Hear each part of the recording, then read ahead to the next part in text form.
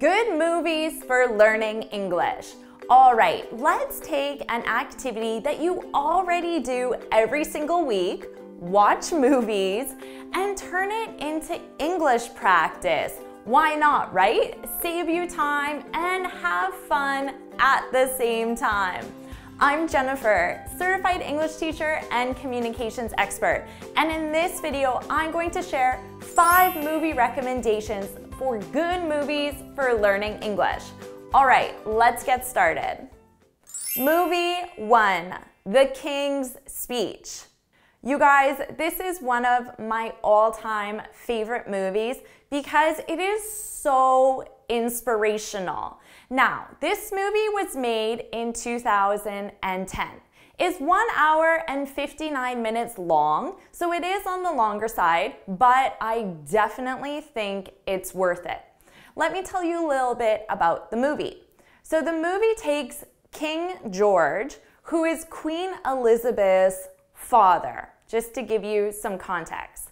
Okay, so King George has a speech impediment. Speech impediment. So, and his impediment is a stutter. So, a st stutter when he's trying to talk, he, he, he can't get the words out. Now, as an English learner, although you don't have a stutter, you can certainly relate to the frustration, the embarrassment, the feelings of shame and doubt that you get when you can't communicate your ideas fluently and confidently, right? So King George is a native English speaker, but this disability, this impediment, is preventing him from communicating his ideas. Now, so imagine you already have this disability, this impediment, you already stutter, which is worse enough, right? But then on top of that, you're the king of England and you're expected to give presentations in front of your entire country, your entire world, and people are judging you based on your ability to present. Oh my God, right? Can you imagine the pressure that King George felt in order to give presentations with this stutter? But thankfully, King George was a very smart man, and he knew that he needed to fix this issue. So he looks for a speech expert, a speech therapist, someone to help him remove his stutter. So he finds someone who has very eccentric methods, really interesting, bizarre methods. For example, putting marbles in his mouth and trying to talk at the same time. So, anyway, they work together. He gets frustrated throughout it. He's not seeing improvements. He's just feeling really bad about his speaking skills in general. Hmm, can you relate to this? And then at the end, he gives his final speech to the entire country. I don't want to ruin the ending for you, so I want you to watch the movie. No spoilers. Okay, but I think you'll love this movie because it's so inspirational and you can identify with the struggles that King George faced. And also, you'll realize that you're not the only one who has problems communicating their ideas. Even in someone's own native language, they still need to deal with issues such as a potential speech impediment. Maybe they have something else preventing them from communicating or they're really shy, they have social anxiety. There are a lot of other reasons that even native English speakers have difficulty communicating. So, this movie is a must watch. It will leave you feeling really good, really confident, confident and really motivated at the end to work on your own speech issues. Movie number two, Toy Story. Okay, this movie is just adorable. I remember watching this movie when I was a little kid in the movie theaters. They've since made a Toy Story 2 and a Toy Story 3. But the original Toy Story was made in 1995 and it's an hour and 21 minutes. So this is a relatively short movie. It's an animated movie for kids Although adults love this movie as well. So don't worry, it's not a kids movie. Adults enjoy and watch this movie, and it's frequently on the best movie of all time list. Because also it has Tom Hanks and Tim Allen, two amazing actors, two comedians, and the movie is very funny. So the plot of this movie this movie is about a little boy named Andy who loves his toy cowboy named Woody. He plays with this cowboy every single day, takes it with him wherever he goes. But then for Andy's birthday, he gets a new toy. This really bright, colorful, modern spaceman named Buzz Lightyear. And Andy loves this toy even more than his old cowboy. And he doesn't play with this cowboy anymore. But what Andy doesn't realize is that when he leaves, when he goes to school or goes to sleep, the toys come to life. And they have their own stories and their own adventures. So the story is about friendship, rivalry, jealousy. There's a lot of great themes in this movie, and it's a classic that we can all relate to because even as adults, we remember how amazing it was to have these toys that we would take with us everywhere and how these toys were our friends and how important they were to us. And even though as adults we don't play with toys anymore generally, we can all relate to that feeling of friendship that we had. So it's a really great movie. The language is quite quite clear and easy to understand and it's short, light-hearted, highly recommend. Number 3, learning to drive. This movie was made in 2014 and it's 1 hour 45 minutes long. Now, this is a movie you're probably not going to find on anyone else's recommended list, but I saw this movie randomly. It was on Netflix. I just saw the title. It looked interesting. And it turned out to be an amazing movie with a really great message.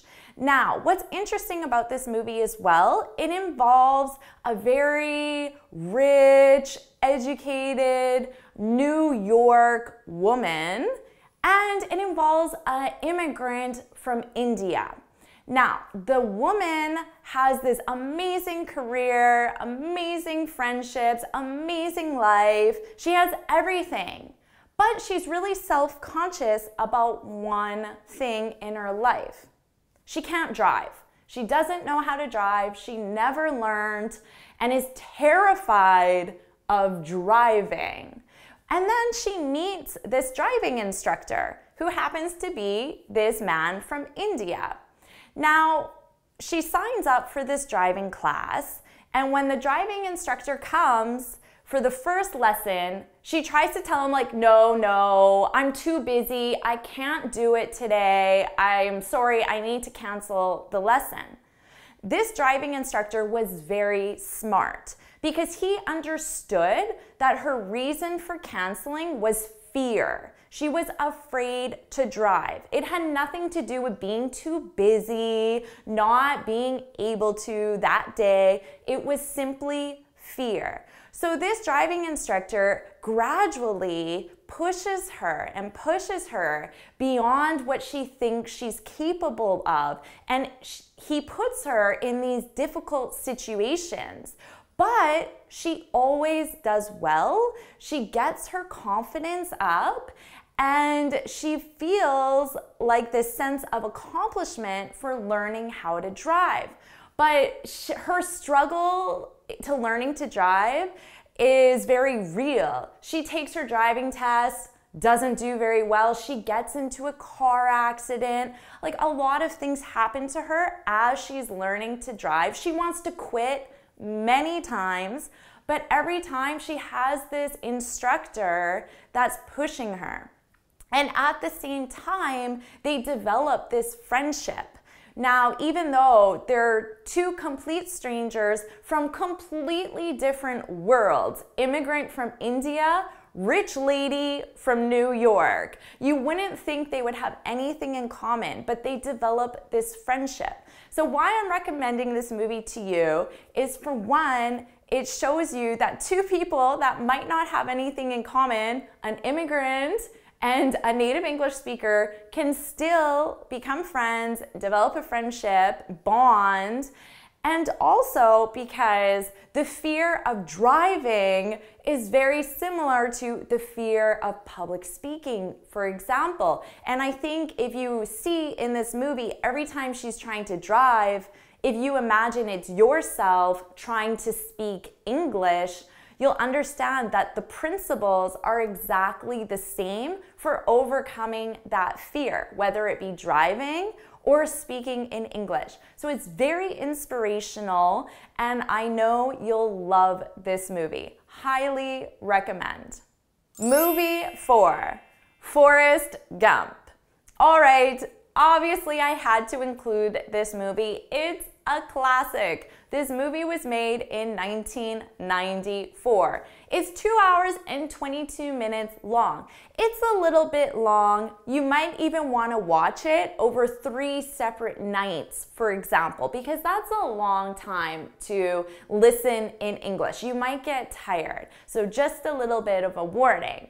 Of course, Forrest Gump. My name's Jennifer Forrest. This movie came out when I was a little kid. I was probably about 10 years old. Well, looking at the date, I was nine years old. Now, I used to get made fun of in class because everybody would yell, Hey, Forrest, because of the movie, because we have the same name. But regardless of that, even though I do have some bad memories from this movie, it's still a classic movie. It has such a wonderful story to it. It's starring Tom Hanks. Now, this movie is basically Tom Hanks, Forrest Gump. He's sitting on a park bench and he's telling his life story to strangers who are waiting for a bus and who just come sit down. Now, he's lived this incredible life. As a child, he had a physical disability as well as an intellectual disability, which he had to overcome. He faced a lot of struggles, being made fun of in school, being picked on. Even his own teachers and parent didn't think he was going to do very well. But then he overcame these obstacles. He got a scholarship to play football in college. He went on to fight in the war. He made a friend. He falls in love. He opens his own business.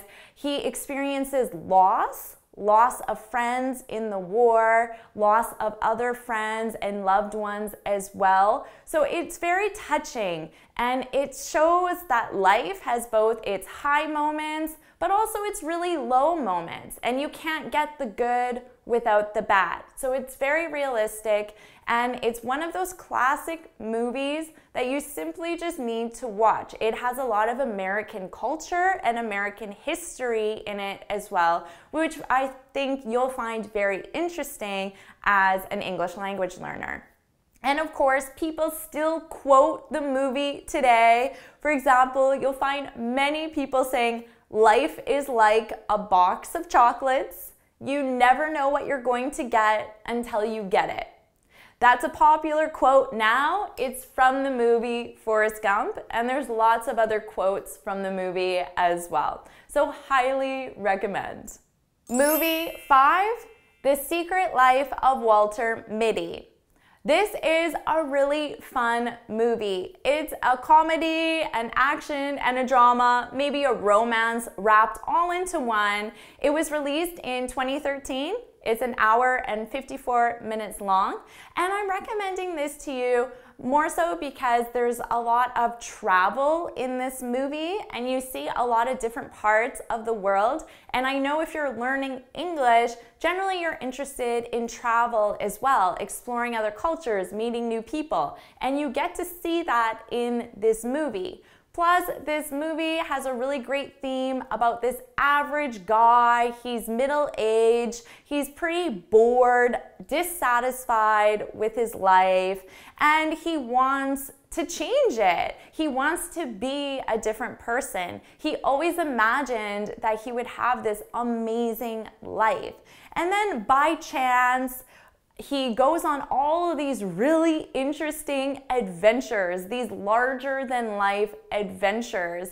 And through that, he develops himself as a person, develops his own interests, hobbies, activities, and he discovers how amazing life can be. And I'm recommending this because I think we all can struggle with this and relate to this this feeling of sometimes we get into a little bit of a rut, a little bit of a routine with life, and we want to experience more, we want to do more. And a lot of it comes down to motivation. And when you're learning English, being able to motivate yourself is very important, right? And I find that if you can find that motivation, you can really do so much with your English. And you also realize that learning English opens so many doors to travel opportunities, to meeting new people. And those are the same themes that you find in the movie, although he's not learning English, but he's still experiencing the same things that you can get through learning English as well. So when you watch this movie, think about how your skill of learning English can help motivate you to go out and seek out these adventures, meet new people, join new groups. You don't have to be isolated in your room watching YouTube videos about learning English. Learning English is so much more than that. Get out there in the world, use your English, explore, meet people, get out of your comfort zone. And that's what this movie is about. And that's something that we all, myself included, we all can benefit from getting out of our comfort zone. So, highly recommend this to you.